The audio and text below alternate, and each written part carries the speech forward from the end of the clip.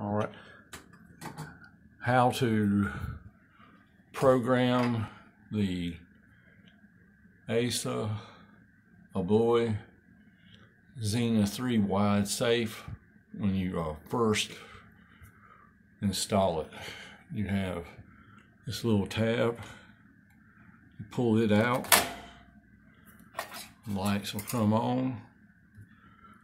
Then you take a razor knife right here, lift up on the tab, base plate will come off.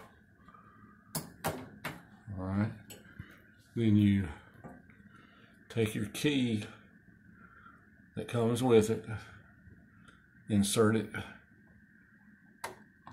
in the bottom. You'll see one R will come on. Mash the reset button, then you'll see a timer. Four, three, six right now, it's counting down.